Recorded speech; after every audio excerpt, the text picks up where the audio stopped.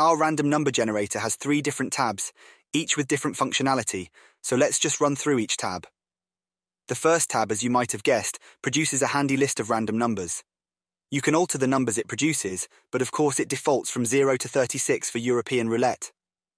The list quantity has some popular values to choose from, and when you press the Run List button, you will see a comma-separated list of results appear. Each time you press the Run List button, you will get a new set of results. You can download any list as a text file.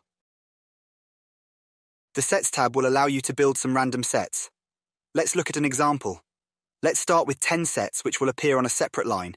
We will choose 5 numbers per set and press Run Sets.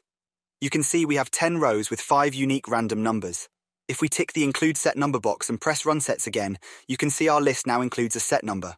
You can also download this as a text file. OK, let's look at the Roulette tab. This tab provides random numbers for a European roulette wheel and gives you the results for some of the standard bets.